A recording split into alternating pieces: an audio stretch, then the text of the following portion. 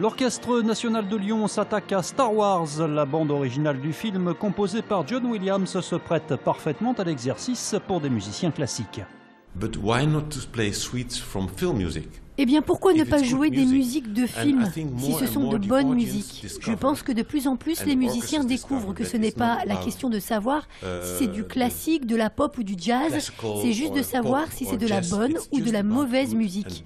On a music. ici un orchestre fantastique here a qui peut fantastic jouer orchestra. n'importe quelle musique écrite orchestra. pour un orchestre symphonique. can play all the music that is written for symphony orchestra.